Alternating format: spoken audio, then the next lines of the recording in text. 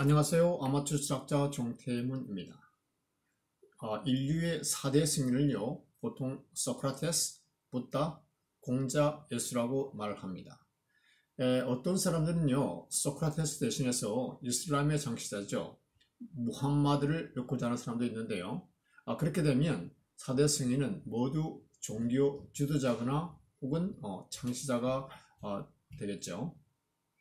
네, 이 4대 승인의 기원수는요, 좀 분분하지만, 아, 칼 야스퍼스가 위대한 사상가들이라는 책에서요, 네 사람을 위대한 인류의 사상가로서 묶어서 이렇게 소개하는 것이 아마도 4대 승인을 이렇게 도식화하는데 큰 영향을 미쳤다고 저는 생각을 합니다. 아, 여러분은 아, 4대 승인을 어떻게 생각하시나요? 네. 어, 사대 승인은 인류의 문명을 한층 업그레이드한 귀축 시대를 연 인물들인데요. 어, 사람이 어떻게 사야 하는가? 뭐 이런 이런 것에 대한 질문에 대한 좋은 가르침을 하다가 남겼다고 볼 수 있겠죠. 아, 그렇지만 물론 본인이 원한 결과는 아니지만 종교라는 집단을 형성했고요. 그래서 이 종교로 인해서 많은 사람들을 많은 사람들을 죽였고 또 어, 상호 간에 어, 증오와 증오의 벽을 그런 만든 어떤 그 결과도 초래했죠.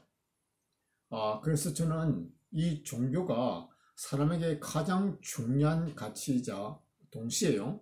가장 위험한 가치라고 생각을 합니다. 왜냐하면 종교는 기본적 속성이 맹목적 속성이 있거든요. 그래서 그렇다고 생각을 하는 거죠. 아, 그래서 제 바람이 있다면 저는 종교의 본, 본질이 어, 도덕이 있다고 보거든요. 그래서 도덕은 남기고 종교라는 껍데기 우상은 이제 사라져야 된다고 저는 생각을 합니다. 아, 그래서 오늘 영상에서는요, 이 4대 승인의 다섯 가지, 다섯 가지 공통점을 살펴보면서 4대 승인이 우리에게 어떤 의미이고 또 어떤 의미이어야 하는지를 한번 어, 곱씹어 오는 시간을 가져볼까 합니다. 네, 어, 첫 번째 공통점은요. 4대 성인은 사람이라는 사람이라는 거죠. 4대 성인의 첫 번째 공통점은 4대 성인은 사람이다. 너무나 당연한 사실입니다. 네. 근데 우리가 종종 망각하는 경우도 있습니다. 네, 4대 성인은 여러분 외계인도 외계인도 아니고요. 신도 아니고요. 식물도 아니고 네, 4대 성인은 사람입니다. 다시 말하면 사람의 아들들이었다는 거죠. 아, 그렇기 때문에 우리가 사대 승인을 존경하고 사랑하는 이유가 되겠습니다. 네. 그들이 그런 멋진, 멋진 길을 갔잖아요.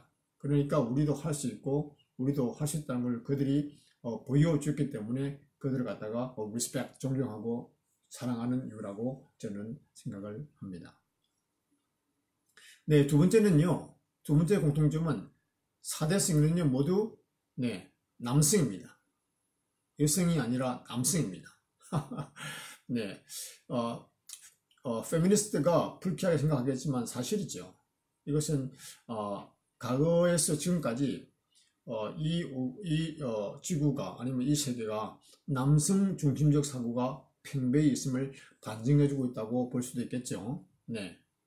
그래서 당분간은 아마 제 생각은 어, 이런 사고가 지술 것 같은데요. 앞으로 500년 뒤에는 뭐 앞으로 저희 500년 뒤에는 어떤 그 여성 여성 승인이 나오지 나올 수 있지 않을까 이렇게 생각도 해봅니다. 그래서 여성분들이 더 분발을 하셔야 될 것 같습니다.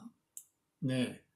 아, 세 번째는요. 세 번째 공격점은 4대 승인은 기득권에 도전을 했던 반항하였다는 아, 사실입니다. 네. 네.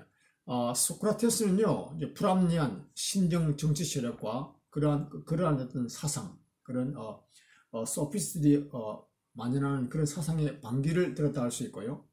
어, 붓다는, 어, 그런 어떤 그 제사, 제사의식, 그리고 사제 중심의 반기를 들고, 어, 누구나 깨달을 수 있고, 또 깨달은 자가 곧 부처라고, 이렇게, 어, 하면서 어, 기득권에 도전을 했죠. 그리고 공자는 그런 어, 패권 정치가 흥행하는 세대를 비판하면서 어떤 그 어, 어, 힘이 아니고 패권이 아니고 어떤 인이라든지 그런 식으로 어, 돌아가자 돌아가자고 그렇게 기득권에 어, 도전을 했죠. 어, 예수는 어떤 무미건조한 율법과 그런 제사를 통해서 구원을 받을 수 있다는 그런 어, 생각하는 그런 유대교에 대해서 그것이 아니고 뭐 사랑 내지는 믿음으로써 이렇게 어, 우리가 구원을 받을 수 있다 이렇게 어, 사랑의 폭탄을 던진 그런 어, 사람이라고 할 수가 있겠죠. 네. 네 번째는요, 사대성에는 모두 적어도 2000년이라는 정말 오래된 옛날 사람이라는 겁니다. 옛날, 옛날의 방점이 있겠죠. 근데 이 사실을 돌이켜보면 좀 사실은 좀 놀라운 일이에요. 왜냐하면 인류가 지금까지 2000년을 넘게 그 많은 수많은 패러다임의 변화를 겪고 왔잖아요. 그럼에도 불구하고 그들의 지위가 아직까지 살아남았다는 것은 굉장히 놀라운 일입니다. 네. 이것이 필연인지 의인인지 신기할 따름이죠. 제 생각에는요. 그래서 저는 개인적으로 이 4대 승인의 등식이, 이런 공식이, 이런 도식화가 언제까지 갈지 매우 궁금합니다. 네. 네, 다섯 번째는요, 어, 4대 승인은 유라시아의 태생들이라는 것입니다. 이 4대 승인이 유라시아의, 어, 유라시아에서 태어난 사람들이라는 것이죠. 이것은 유라시아가 인류 문명의 주역이었고, 선봉장임을 잘 말해주고 있습니다. 네, 충균시라는 책은 그것을 잘 증명하고 있죠. 그런데 현재는 미국이 세대를 주도하는데요. 나중에는 여기서도 성인이 나올 수 있겠다 이렇게 생각을 합니다. 제가 생각할 때는 가장 강력한 후보 중에 한 사람은 누구냐면 바로 트럼프 대통령이 아닐까 생각합니다. 네, 트럼프 대통령이 본인도 그렇게 생각하잖아요. 네, 그렇게 생각을 할까 합니다. 농담이고요.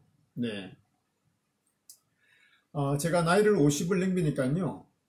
4대 성인도 우리와 같은 똑같은 사람이라고 어, 생각을 합니다.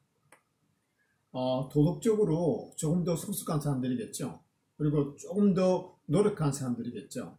그러니까 어, 우리 자신을 갖다가 4대 승인에 견주어서 지나치게 열등감을 가질 필요는 없다고 생각합니다. 왜냐하면 각자의 상황과 처지가 다르잖아요. 그러니까 그렇게 단순 비교는 할 수 없다고 생각합니다. 아, 그리고 어쩌면 이 4대 승인은 사람들의 기대와 이상과 바람이 만들어낸 우상일 수 있다는 것이죠. 우상일지도 모릅니다. 네. 실제로 우리 주변에서 많은 성인들이요, 자신의 삶을 살고 이름도 없이 역사에서 사라졌습니다. 단지 그들은 이 사대성에는 쇠력, 쇠력화되어서 어, 이름을 남겼을 뿐이죠. 예, 성리학 Neo Confucianism에서는요, 공부의 목적을 성인이 되는 것입니다. 왜냐하면 모두가 노력하면 성인이 될 수 있다고 믿었기 때문에 그렇죠. 그리고 또 어떤 사람들은 말합니다. 우리가 작은 예수가 되어야 한다고요. 근데 제 생각은 좀 다릅니다. 우리는 그냥 자기 자신이 되길 노력하면 된다고 생각합니다. 그리고 한 걸음 더 나아가면 저는 이제 이 4대 성인의 그림자리에서 벗어나 새로운 성인을 기대하는 것도 좋다고 생각을 합니다. 네, 제가 살아있는 동안에는 만날 수 없을, 없을 것 같은데요. 저는 그들이, 이 새로운 성인들이 언제, 어떤 모습으로 이 역사에 등장할지 많이 궁금합니다. Let it be. Be yourself. Bye now.